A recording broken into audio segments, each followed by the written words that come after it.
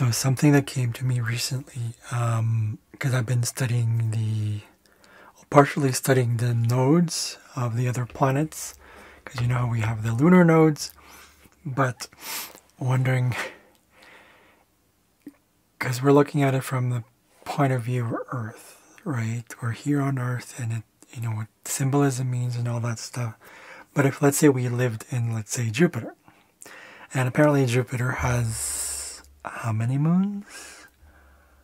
According to this one, Jupiter has 67 moons. So does that mean that each moon would have its own lunar node? Like it's, but multiple ones? Because you're talking about the moon itself. So I don't know, I've always kind of wondered about that. Just something speculative.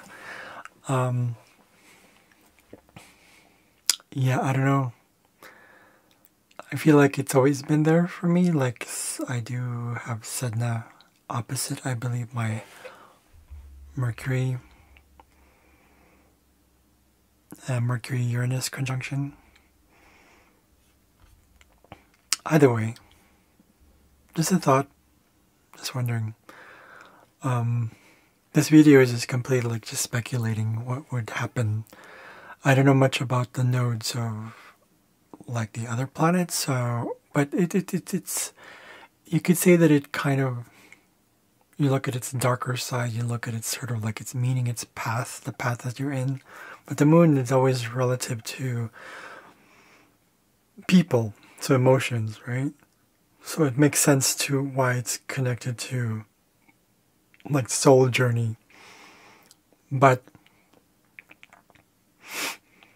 if we're talking about nodes as if they were referring to like journeys, then that means the nodes represent themselves, they represent a journey of something. So in this case, for the moon, it's the journey of the soul. But if let's say we're looking at the nodes of, let's say, Venus, the nodes, uh, uh, the journey of pleasure, the journey of sensuality, the journey of enjoying simple things, a journey of self worth. Um, so it make kind of makes sense, but it's not necessarily. I would say if it's the other personal planets, especially like Mercury, Venus, Mars. Um, not sure about the Sun.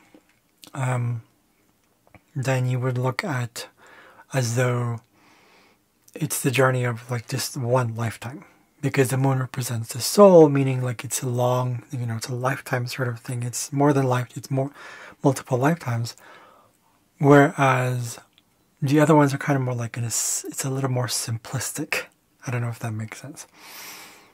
But once we go into the social or transpersonal planets, I would say those have a lot to do probably with relationships, or rather because they are social kind of more like in maybe the node would represent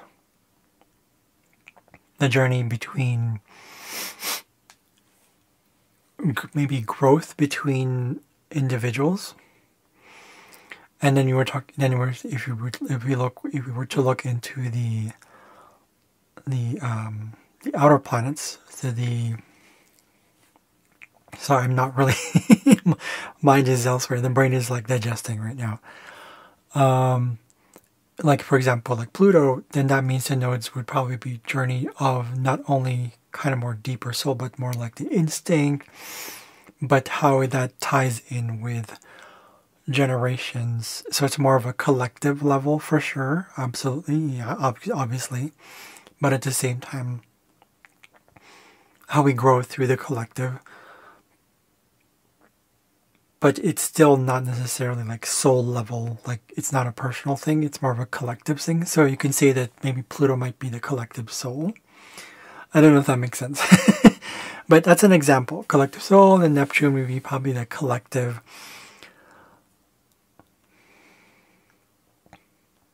uh, collective transcendence right?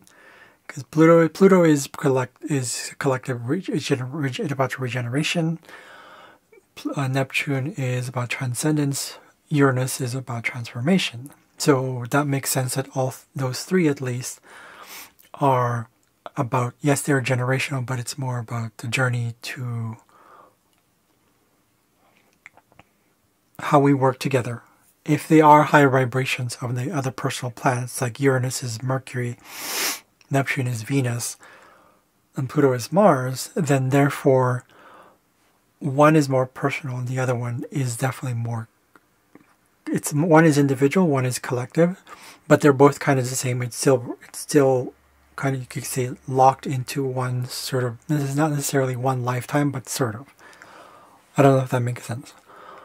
Anyways just speculative speculative video. Um i don't know what you guys think. This just came to mind today. Anyways thanks for listening Right.